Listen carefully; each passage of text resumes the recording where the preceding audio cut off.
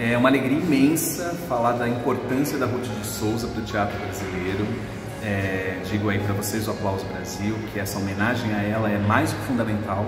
Uma mulher fantástica que atravessou o século XX e representou as mulheres negras, os atores negros no teatro, nos inspirando, nos dando força. Você é luz guia na minha vida, luz guia na minha carreira como atriz negra do teatro negro. Eu só tenho que agradecer a sua existência, porque só a partir de ti que eu existo. Hoje eu faço teatro, estou no teatro e me fortaleço com a história dela, eu cresço com a história dela. Muito obrigada por tudo. Você é minha guia. Eu só sou porque você é. Que a gente possa celebrá-la sempre e que a gente não esqueça, que a gente sempre lembre dela. Muito obrigada. O Teatro Negro agradece. Axé. Viva Dona Ruth.